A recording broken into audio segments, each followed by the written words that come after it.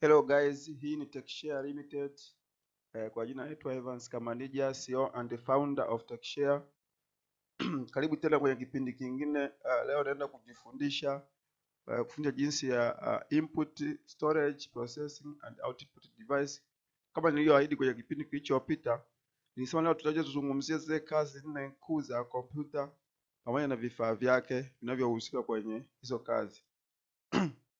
Uh, kwenye kipindi kilichopita tulijifunza kuhusiana na kompyuta. Nieleza kompyuta ni nini na maana yake halisi, na nikaambia naweza ikafanya kazi kuu nne, na hizo kazi kama ifuatavyo. ya kwanza inafanya input. Input ni nini? Input ni ni uingizaji wa taarifa kwenye mifumo ya kompyuta. Kwa uingizaji wa taarifa huu unawezeshwa na uwepo wa input device. Kwa input device uh, a device that is responsible to send data to the uh, to the computer. Okay? Au nasema sasa ni, ni vifaa ambavyo vinahusika eh, na kuingiza taarifa kwenye mifumo ya kompyuta.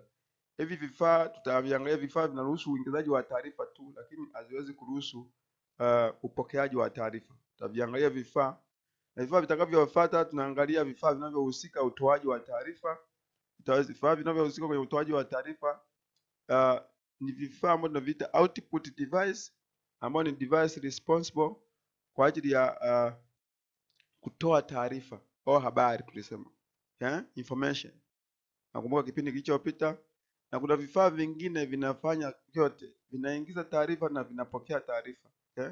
Kwa mfano kama flash moja hapo inaingiza taarifa na ina, uh, inatoa inatoa taarifa.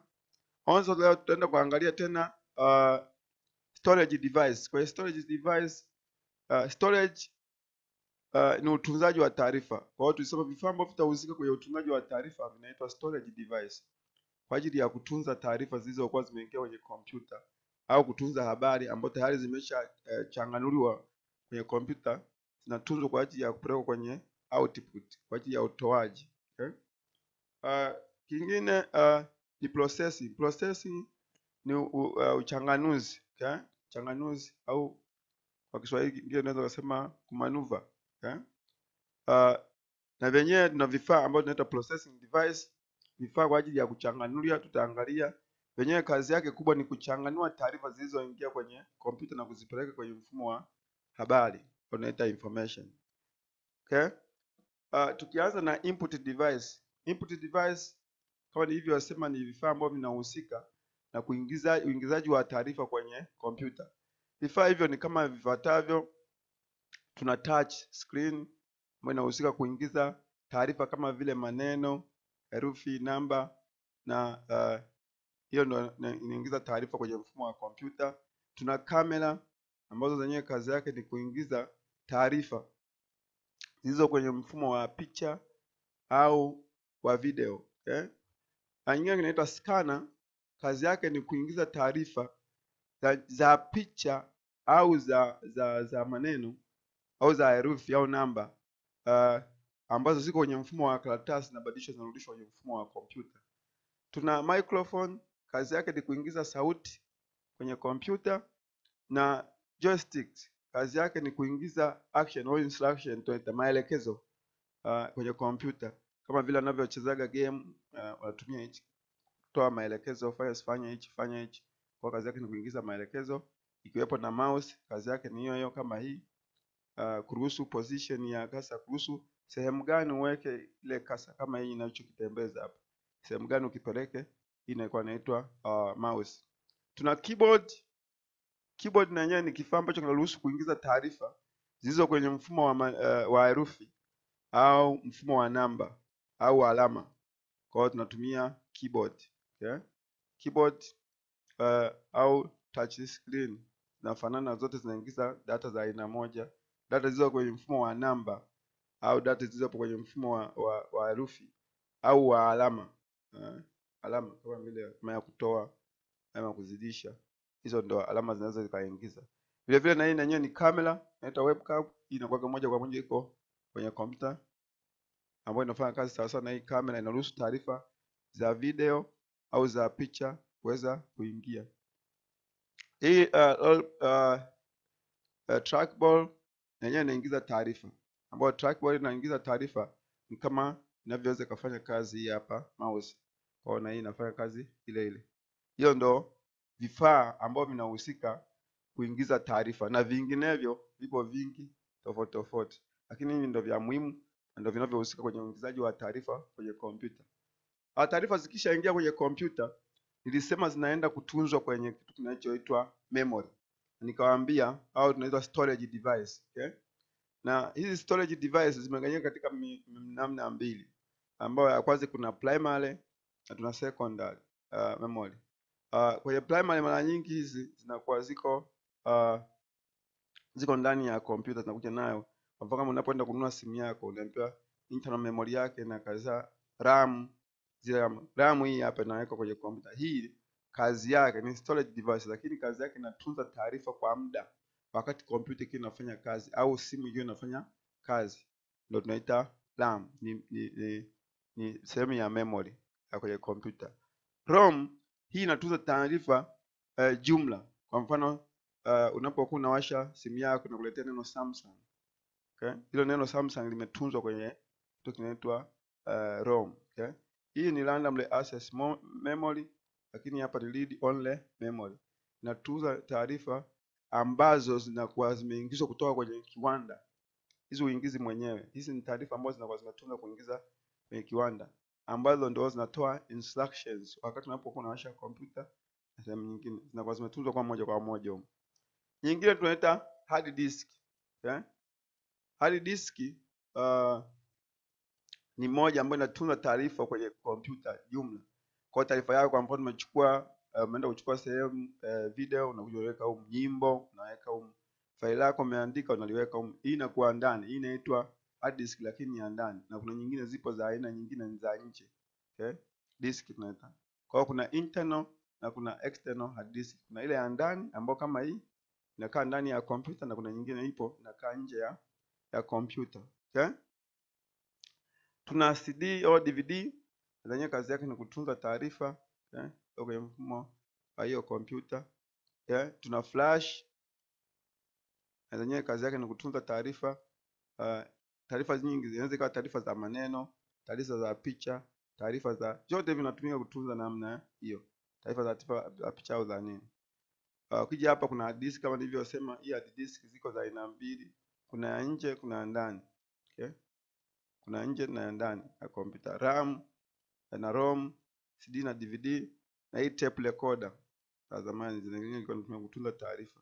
Taarifa gani? Zikatunza taarifa ya ya ya, ya maneno uh, au tunaita audio uh, na yeye ikatunza uh, video vile vile ikatunza taarifa na flash na tuna memory ambazo zinatumia kwenye simu na zenyewe zinatumika kutunza taarifa vile vile, na memory ziko nazo mbili.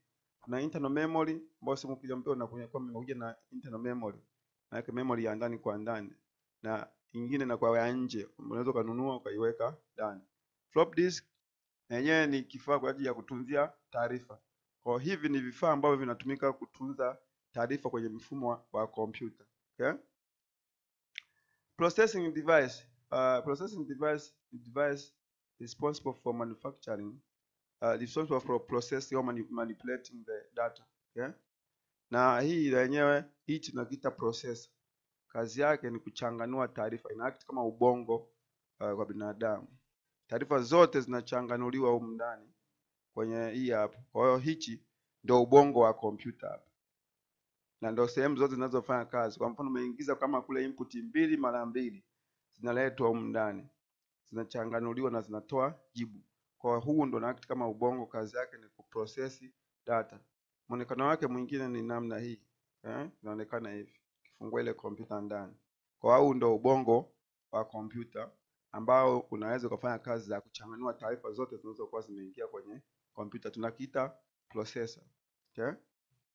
Uh, output device kama nilivyosema, a device that is responsible to uh, uh, to give out the information from the computer. Okay? Kifaa maalum kwa ajili ya kutolea taarifa au habari zilizotoka kwenye kompyuta baada ya kuchanganuliwa na processor. Eh, baada ya kufanywa processing au baada ya kuchanganuliwa taarifa hiyo habari inatoka. Sasa inatoka kwa njia gani? hasa habari zinazotoka ziko za namna nyingi. Kwa mfano speaker.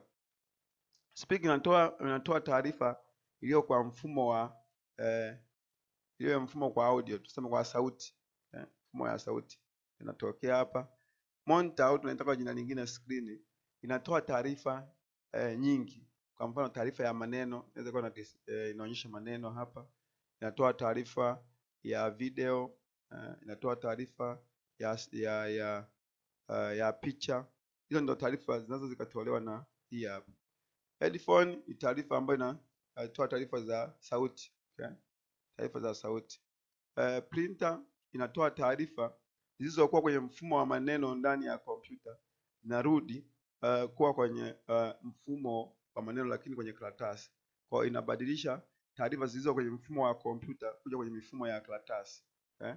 Hii aina ni aina yake. Hii hapa na yenyewe uh, projector kazi yake inatoa taarifa zilizoko kwenye mfumo wa- video, mfumo wa maneno uh, au zilizoko kwenye mfumo wa picha? Inatoa taarifa kwa namna hiyo. Hii na yenyewe inafanana na hii, inatoa taarifa uh, zinaweza ziko kwenye mfumo wa picha au za nini, nazibadilisha kutoka kwenye mfumo wa kompyuta nazileta kwenye mfumo wa uh, wa kawaida ambao uko kwenye mfumo wa karatasi. Hizo ndio input. Uh, na mwisho kabisa tunaweza tukaangalia vifaa uh, kwa ajili ya kuingizia taarifa na kutoa taarifa kama hivi vyote vilivyoko huku uh, tulivyosoma seti kwamba hivi vyote vinatumika kufanya uh, uingizaji wa taarifa kwenye mfumo wa kompyuta. Hivi hapa vya katikati vinaweza ikafanya kazi zote, zinaweza zikaingiza taarifa na zinaweza vile vile zikatoa taarifa okay? Hivi huku vinatoa taarifa tu okay? Mshawahi kuviona sehemu yote, iwe stationary iwe wapi. Hii ndio kazi yake kubwa ya hivi vifaa okay? Asanteni kwa kunisikiliza. Uh, thank you for watching na uh, nawaombeni sana muweze kusubscribe ili uweze kupata video nyingi zaidi na zaidi uh, zinazohusiana na mafunzo ya kompyuta mbalimbali. Tutakuwa tunatoa kila siku uh, video moja baada ya video nyingine. Kwa hiyo bonyeza alama ya ku uh, subscribe ili uweze kuwa membership na uweze uh, kupata taarifa kwa wakati kitu gani kinaendelea. tech share. Uh, niwatakia siku njema. Mungu awabariki. Asanteni.